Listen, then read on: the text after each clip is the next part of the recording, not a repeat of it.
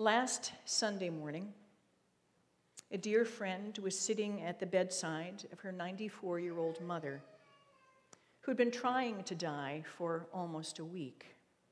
But as we commented, you don't get to be 94 by being a weenie. It was taking a while. Ancient Vivian had not spoken in at least two days, but unexpectedly she opened her eyes and said, Did you hear that?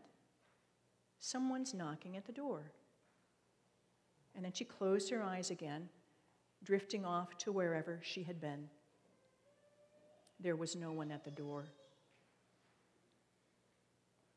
But Vivian died a short day later because, in fact, for her, someone had been knocking, and she opened the door to the one who had so quietly come for her after 94 years.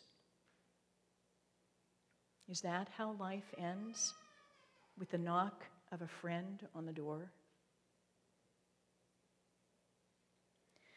On Wednesday morning, my phone burst with text messages as rapid as machine gun fire. It was my sister's group text message exploding with news of the most recent fall. Matt Lauer? Question mark, question mark, question mark. You're kidding! Exclamation mark, exclamation mark. What did he do? Many emojis.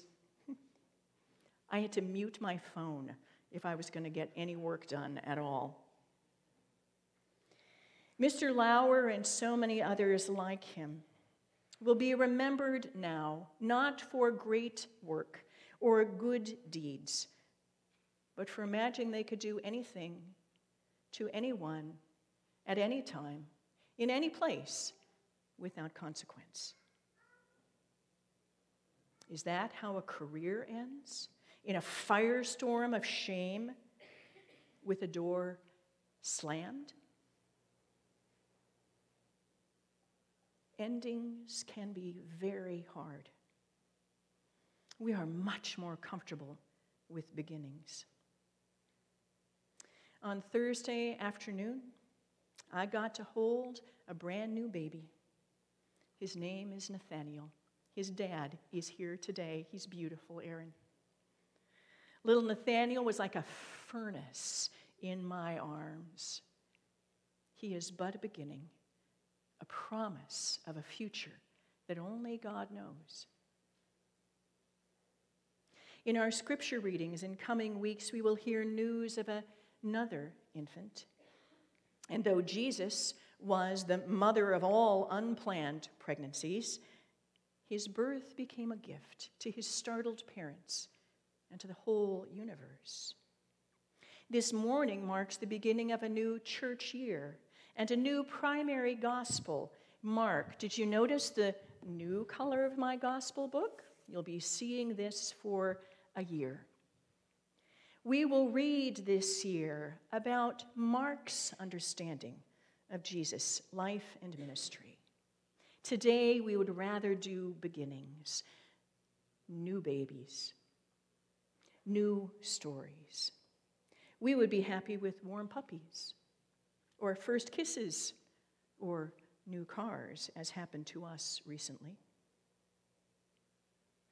But we know that every beginning has an inevitable end. A knock on the door, a shameful secret exposed, or in Advent's case, the end of all that we know. This Advent, the year of Mark, we begin at the end. Jumping into Mark's gospel at the 13th chapter is a little like starting Game of Thrones in season six. Brienne of Tarth and Jon Snow and the wildlings, what? But it didn't take a rocket scientist to recognize that the political and religious situation in first century Jerusalem was unsustainable. There were enemies outside its borders and enemies within. Powerful people use their power for their own gain and not for the good of the people. Some people operated covertly, and some people without shame, creating and doing horrible things, making terrible decisions that benefited them, but perhaps no one else. Though those enemies were chipping away at Jerusalem's stability every day, there was one thing they could do a surefire way to bring the whole city and all its people to its knees. And that one surefire method destroy the temple, take it apart, brick by brick. And Jesus knew that it was going to happen. It had happened once before. Taking down the temple was the original nuclear option. You see, the temple in Jerusalem was more than a beloved church building. As much as we love this building and are about to spend a ton of money on it, thank you very much, if it burned to the ground, we would be very sad. But we would call the insurance company and we would build something new. The temple in Jerusalem was more than just a beautiful building, it was the home for God. They believed that God lived there in the holiest of places. It was their identity as a people, and people came to the temple every year at least once on a pilgrimage to be near God. If you wanted to destroy Jerusalem, if you wanted to destroy the Jews, torch the temple. Jesus was that rocket scientist. He knew that the end was coming the end of the city, the end of the temple, perhaps the end of his people, and most certainly the end of his ministry. When would this happen? Jesus himself says, Don't know. The Father knows, but I don't.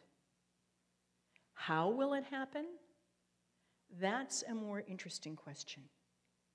And Jesus hints at a number of options. At the beginning of the text, he is speaking sideways about the destruction of the temple.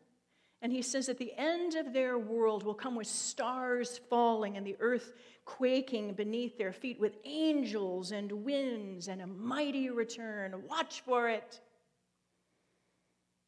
But then he says, you know, the end might come as quietly as a fig leaf unfurls on a tree in the spring. You know what's going to happen when you see that bud. And you also know that every spring begs a fall. So just pay attention. Or it might come delightfully, as when a traveler long gone comes home and knocks. Open the door, he's here.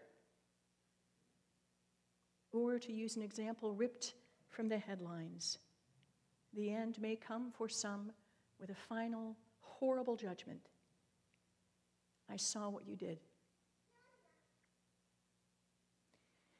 This year, Advent begins at the end. At the end of my friend Vivian's life. At the end of famous people's reputations. At the end of Jesus' world. And Advent will end at the beginning with news of an unexpected birth. But we have to wait. Instead, we begin today at the end.